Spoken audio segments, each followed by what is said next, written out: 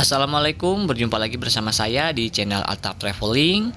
Oke, mungkin langsung saja tanpa panjang lebar. Di kesempatan hari ini saya ingin mereview salah satu tempat wisata yang belum lama opening ya, berada di daerah Kabupaten Bogor. Nama tempatnya itu Rivera Outbound dan Edutainment. Adapun alamat lengkapnya yaitu di Jalan Bogor Nirwana Residen, Mulia Harja Kota Bogor atau tidak jauh dari tempat wisata di Jungle Water Park. Jadi areanya itu berada di area perumahan ya.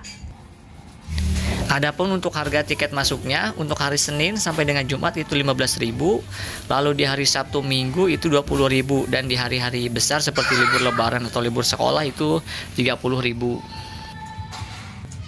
Tetapi harga tiket masuk itu belum termasuk harga wahana yang ada di area dalam ya. Contoh yang ada di depan kita ini nama wahananya itu Obstacles. Harganya itu 50.000 untuk satu kali putaran.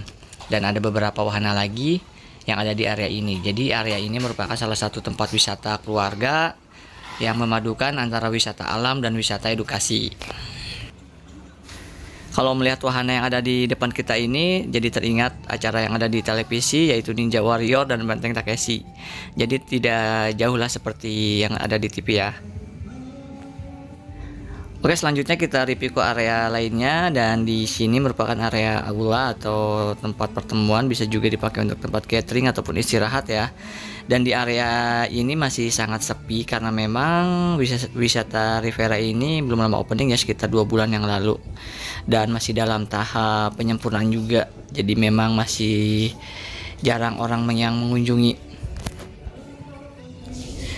Di area Rivera ini ada beberapa wahana wahana wisata ya yang sangat menurut saya sangat menguji adrenalin ya atau keberanian kalian. Salah satunya yaitu flying fox dan kursi gantung. Dan di sini pun ada beberapa spot foto yang sangat keren dan kece habis. Nah, yang ada di area depan kita ini merupakan area dari dari flying fox yang lumayan jauh dan tinggi. Dan harganya itu sekali kita mencoba itu harganya 25.000 Oke selanjutnya kita review ke area lainnya. Kita ke area bawah.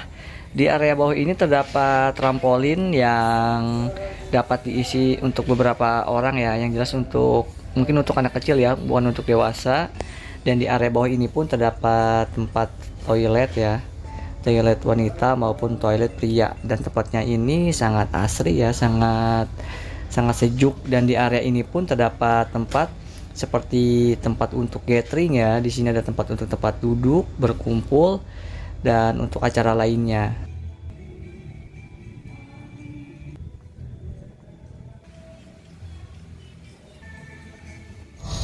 Di area Rivera ini juga masih ada beberapa tempat yang dalam on proses ya atau dalam pengerjaan.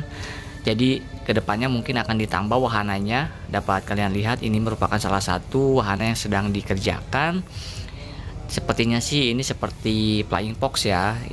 Tetapi tidak tahu jadinya seperti apa karena memang masih on proses oke selanjutnya kita ke area lainnya.